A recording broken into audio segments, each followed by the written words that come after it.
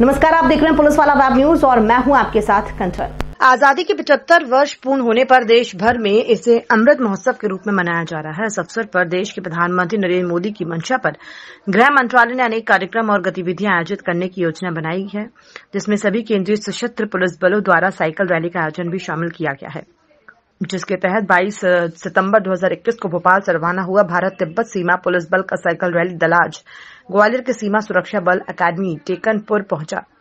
जहाँ सीमा सुरक्षा बल के अधिकारियों ने साइकिल रैली में आए दल का भव्य स्वागत किया है। गौरतलब है कि आज़ादी के पचहत्तर वर्ष पूर्ण होने पर मनाए जा रहे अमृत महोत्सव के तहत भोपाल से रवाना हुए भारत तिब्बत सीमा पुलिस बल के साइकिल रैली दल को मध्यप्रदेश के गृह, जेल एवं विधि विधायी संसदीय कार्य मंत्री डॉक्टर नरोत्तम मिश्रा ने हरी झंडी दिखाकर रवाना किया था, जिसे 2 अक्टूबर को दिल्ली राजघाट पर पहुँचना है। वहीं पर भोपाल से आए भारत तिब्बत सीमा पुलिस बल के साइकिल रैली दल के प्रमुख commandant doctor B L N Thakur ने बताया है कि भारत अपनी आज़ादी का पचहत्तर वर्ष आज़ादी का अमृत महोत्सव के रूप में मना रहा है। गृह मंत्रालय ने इस अवसर पर अनेक कार्यक्रम और गतिविधियाँ करने की योजना बनाई है, जिसमें सभी केंद्रीय सशस्त्र पुलिस बल द्वारा साइकिल रैली का आयोजन भी शामिल है।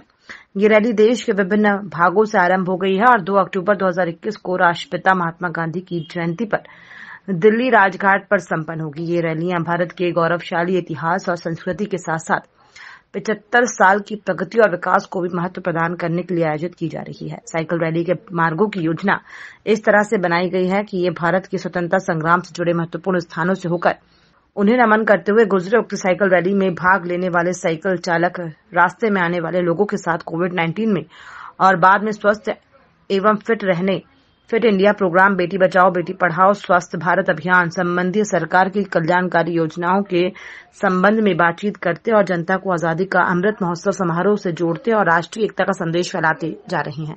इस साइकिल रैली के माध्यम से भारत तिब्बत सीमा पुलिस बल सभी जनमानस से इंटरेक्ट कर रही है एवं सबको ये संदेश दे रही है कि एकता अखंडता जितने भी केंद्रीय सशस्त्र पुलिस बल हैं ITBP, BSF, CRPF, SSB, CISF ये सभी एक अनेकता में एकता का प्रतीक है। तो इस माध्यम से हम एक अनेकता में एकता का संदेश दे रहे हैं। साथ ही साथ सरकार की अन्य कल्याणकारी नीतियाँ जितनी भी हैं उन सब के बारे में सभी जनमानस को हम जागरूक कर रहे हैं। एवं इसके अलावा कोरोना के बाद में जो ये हमने महामारी झेली है इसके बाद में साइकिलिंग के माध्यम से हम लोगों को ये बताना चाह रहे हैं कि साइकिलिंग एक बहुत अच्छा ज़रिया है अपने आप को फिट रखने का। और अपने स्वास्थ्य को स्वास्थ्य को अच्छा रखने का ताकि हम किसी भी बीमारी से बच। सकें धन्यवाद। सर ये जो अमृत उत्सव के तहत साइकिल रैली आयोजन किया जा रहा है कहाँ से आए हैं आप और कितना सफ़र अभी आप कर चुके हैं कितना बाकी है?